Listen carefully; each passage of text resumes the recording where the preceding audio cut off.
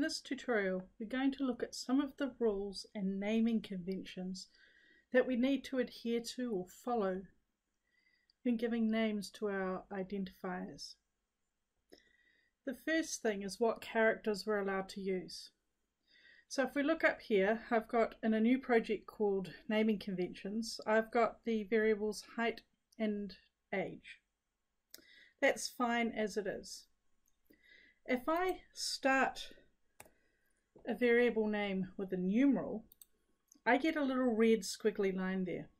A red squiggly line indicates a syntax error, and we're not allowed to have any of those. They will actually prevent our program from being run by the Visual Basic compiler. Notice what happens though if I remove the numeral from the beginning of the variable name to the end of the variable name.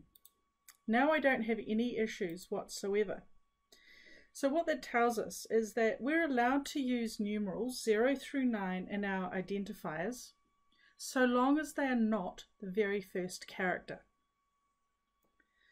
The second thing here is that some of these variables contain more than one word.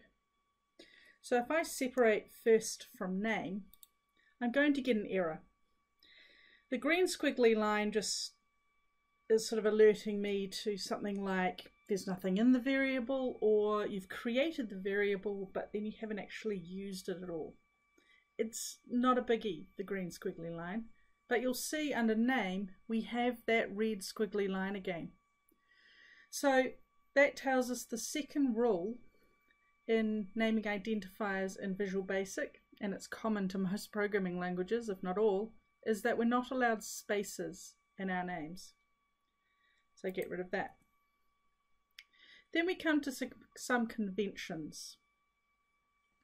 A convention in Visual Basic is to use camel case spelling. What that means is like up here with height and age, if our identifiers consist of only one word, we just type it all in lowercase letters.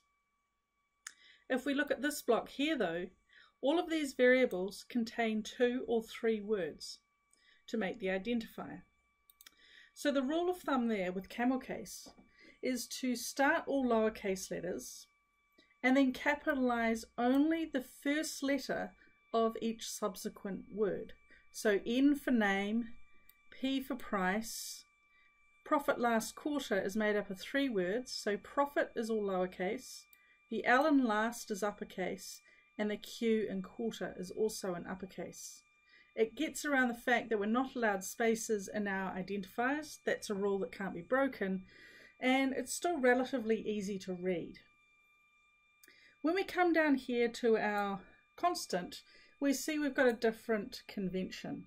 The same rules of only letters, underscore character, and numerals can be present but not as the first character apply to constant identifiers just as much as variables. The convention here, though, is that when we write the name of a variable, of a constant, sorry, we capitalize the entire thing. As such, if we've got a constant like here that's consisting of more than one word, tax and rate in this example, we actually separate the words with an underscore character because obviously the camel case spelling of variables doesn't apply here because everything is in capitals anyway.